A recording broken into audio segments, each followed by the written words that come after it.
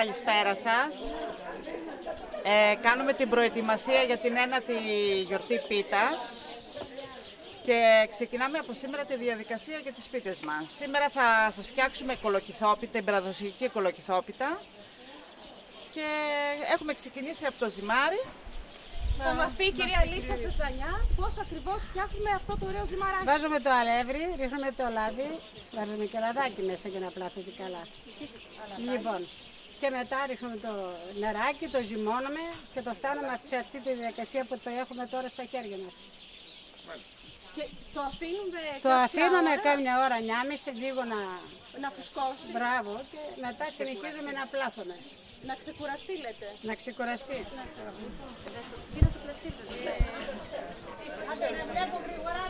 Κωνσταντίνα, είσαι μια νέα κοπέλα που ξέρεις και ανοίγεις φίλο. Ευχάριστο αυτό, έτσι.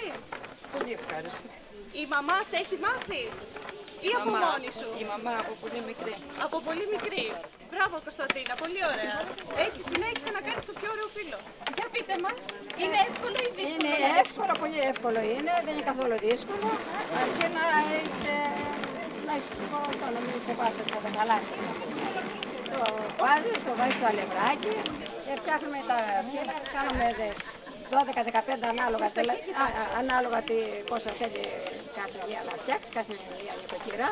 Και το βάζουμε στο ταψί και το γεμίζουμε, βάζουμε μέσα τα υλικά και γίνεται η πίτα. Το ψήνουμε και γίνεται πολύ ωραία. Παραδοσιακή. Κυρία Παναγιώτα, εσύ είσαι πια έμπειρη στο άνοιγμα του φίλου, έτσι; Όταν είναι το αλεύρι καλό, το φύλλο γίνεται πολύ ωραίο. Αλλά χρειάζεται και τέχνη όμως. Και τέχνη βέβαια, όταν το ζυμώνεις, πρέπει να βάλεις τα, το αλάτι, το λάδι, το νεράκι, το, το ζυμώσεις, να το αφήσεις να ξεκουραστεί. Και μετά αρχίζεις και ανοίγεις και στρώνεις την πίτα και γίνεται πολύ ωραία, επειδή θυμίζομαστε εδώ στη Ρούμιλη. Μάλιστα. Να μας το δείξετε, δείξτε μας. Μην τα αφήνεις αυτό γιατί δεν ανοίγουν. Πρέπει να μπεις από την άλλη μεριά.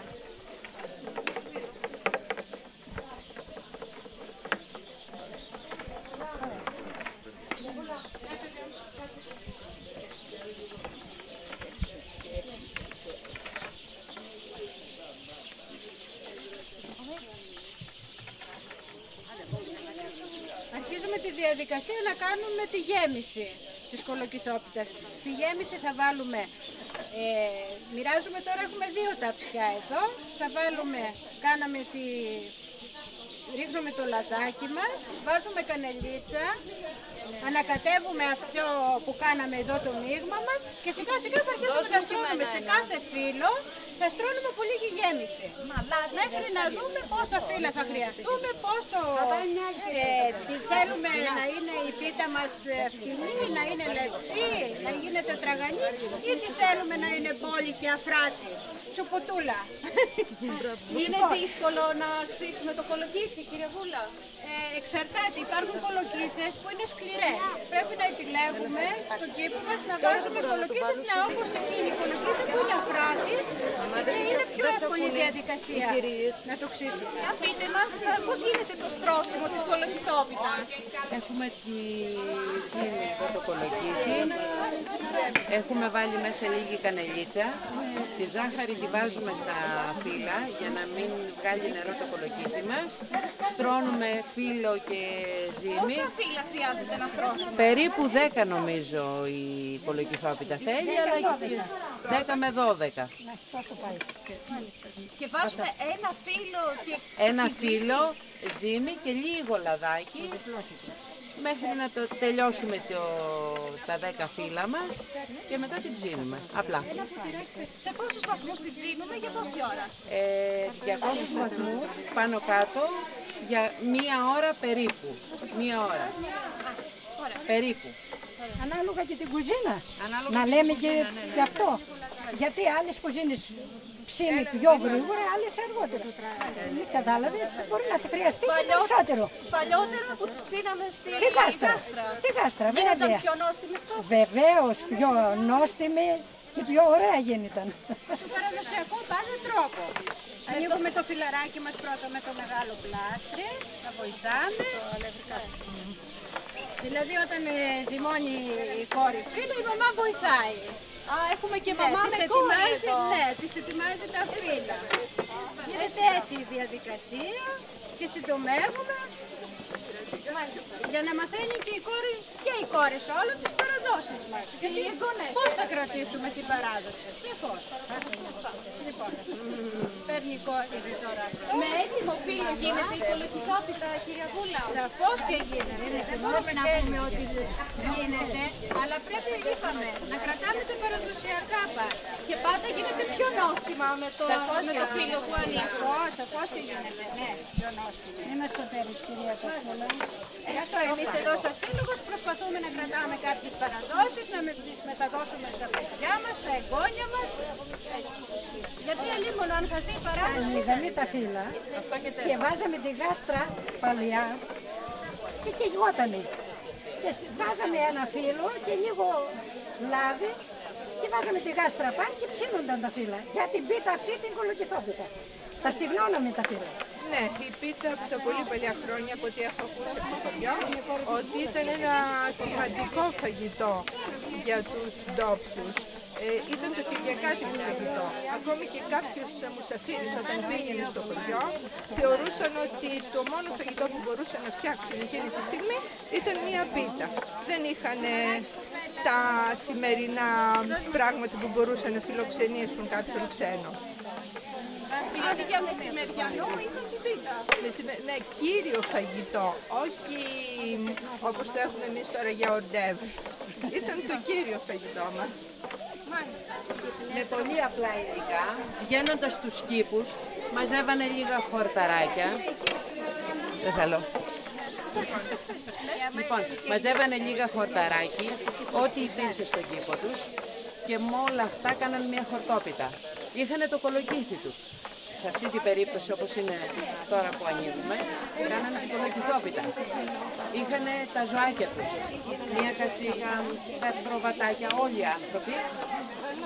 Και με το τυράκι που κάνανε, κάνανε την τυρόπιτα. Όλα αυτά ήτανε Όλα αυτά ήταν δικά τους υλικά και έξω από την πόρτα τους, χωρίς να κινηθούν καθόλου. Γιατί δεν υπήρχαν τα σούπερ μάρκετ, δεν υπήρχαν όλα αυτά τα πράγματα και έτσι οι άνθρωποι μόνοι τους μπορούσαν να συντηρηθούν κατά αυτόν τον τρόπο. Και Με τα σίγουρα να πολύ- φάνε κάτι θρεπτικό. Βεβαίως, θρεπτικό πάρα πολύ. Μιλάμε για βούτυρα, μιλάμε για τυριά, αγνά, πάρα πολύ, πάρα πολύ ωραία. Χορταράκια του κήπου. Τελειώσαμε αυτή την πίτα. Ήδη βάλαμε 12 φιλαράκια. Τα δύο τα τελευταία δεν βάζουμε ζύμη. Και την έτρωγαν και πάρα πολύ γιατί δεν έτρωγαν παλιά ε, γλυκά ο κόσμος. Και τα άρεσε πάρα πολύ. Θεωρούνταν σαν γλυκό. Σαν δηλαδή, γλυκό, ναι. η κολοκυθόπιστα. Υπάρχει και άλλη εκδοχή της κολοκυθότητας, η πρόχειρη πίτα, η καθημερινή, αυτή η οποία γινόταν ε, σε φάση που γυρνούσαν οι γυναίκες από τη δουλειά και έπρεπε να, είναι, ε, να υπάρχει αμεσότητα. Ε, αυτή η οποία δεν χρειαζόταν φύλλο. Δηλαδή υπήρχε το κολοκύθι, ε, βάζανε τυριά, αλεύρι, αυγά ε, και την ε, βάζανε στο ταψί. Ε, αυτή τη λέγαμε στον τόπο μας μαμαλίκα. Ναι, είναι κάτι αντίστοιχο της κολοκυθότητας, η οποία είναι, γίνεται με φύλλο. Ε, αυτή με φύλλο θέλει κάποια ιδιαίτερη διαδικασία. Αυτή είναι πολύ απλή, γίνεται α- αμέσως, δηλαδή χωρίς ιδιαίτερο κόπο, μια έμπειρη νοικοκυρά μέσα σε 10 λεπτά έχει ένα πολύ ωραίο φαγητό. ναι. Και ψήνεται γρήγορα. Ψήνονται πάρα πολύ γρήγορα. Ε, Μέσα δηλαδή σε 20 λεπτά είναι ναι, έτοιμη. είναι, ο- είναι μέσα σε 30, ε, 45 λεπτά είναι έτοιμη και παλιότερα τη βάζαν στο τραπέζι όλη η οικογένεια χωρίς ιδιαίτερη, ε, πώς το λένε, προετοιμασία, ναι, και στρώσιμο τραπεζιού, κόβανε την πίτα, την τρώγανε και ήταν όλοι χαρούμενοι και ευτυχισμένοι. Λοιπόν, φτάσαμε στην τελική διαδικασία εδώ της πίτας. Σε λίγο θα κόψουμε την πίτα μας και είναι έτοιμη για το φούρνο. Είπαμε, το ζυμαράκι μας κατά το γνωστό τρόπο, το αλεύρι μας, το βοηθάμε με λίγο λαδάκι, αλατάκι και ξυδάκι προαιρετικά για να φουσκώνει, να γίνει πιο αφράτο το φύλλο μας. Πλάσαμε τα φύλλα όπως είδαμε όλοι εδώ με τη διαδικασία τη γνωστή και τα υλικά μας ήταν ε, ε, σε αυτό το ταψί περίπου θα χρειαστούν οι κυρίες όλες γύρω στο 1,5 κιλό κολοκύθα αφού την ξύσουμε ήδη περάστε στο μπλέντερ, οι πιο μοντέρνες τώρα τη περνάς στο μπλέντερ. Οι γιαγιάδες μας και εμείς τις ξύνουμε τις κολοκύθες με το κουτάλι, με το γνωστό τρόπο παραδοσιακά. Λοιπόν, γύρω στο 1,5 κιλό κολοκύθι, καλά στημένο το κολοκυθάκι. Αυτό μέσα για να τραβήξει τα υγρά του θέλει λίγο να το βοηθήσουμε με λίγο ριζάκι, αφού το βράσουμε, αλλά να το σπάσουμε λίγο το ριζάκι για να μην είναι τραγανό το ριζάκι. Ε, ρίχνουμε τη ζαχαρίτσα μας και την κανελίτσα μας. Είπαμε λαδάκι, τη ζάχαρη, την κανέλα μας. Αυτά είναι τα υλικά παιδιά, είναι απλά, δεν είναι δύσκολη κολοκυθόπιτα, είναι απλή παραδοσιακή. Με υλικά που είχαν όλες οι γιαγιάδες μας στο σπίτι και πήραμε και εμείς την παράδοση.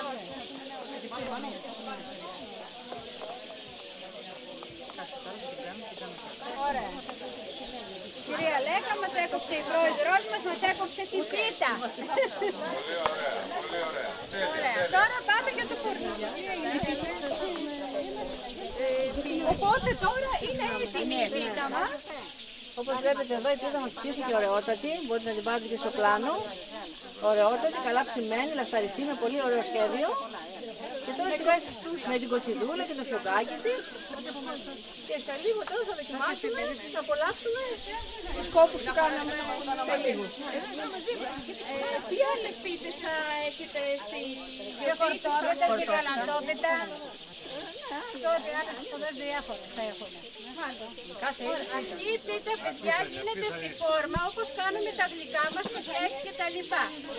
Ε, έχει μέσα διάφορους ξηρούς καρπούς και σταφίδες παράλληλα για να γλυκάνει. Τα υλικά είναι ίδια με εκείνη. Αυτή τι κάνουμε όταν έχουμε κάποιο επίσημο τραπέζι, σε αραβόνα, έτσι μας λέγανε οι γιαγιάδες μας τέλος πάντων, είναι κάτι πιο επίσημο. Για αυτή πόσα φύλλα χρειάζονται; Κοίταξε, αυτά τα φύλλα θα τα κόψεις κομμάτια, θα αφήσεις το φύλλο να ξεραθεί και το, ε, πρέπει να το τρίψεις μέσα, αφού στρώσεις τη φόρμα σου γύρω γύρω, τρίβεις κάποια φύλλα μέσα μαζί με τους ξηρούς καρπούς και τη σταφίδα και τα, το μείγμα το υπόλοιπο και τη σκεπάζεις απάνω από εκεί. Θέλεις, είναι γύρω στα 10 φύλλα περίπου, αλλά πρέπει να τα ξεράνεις και να τα τρίψεις για να πει μέσα στο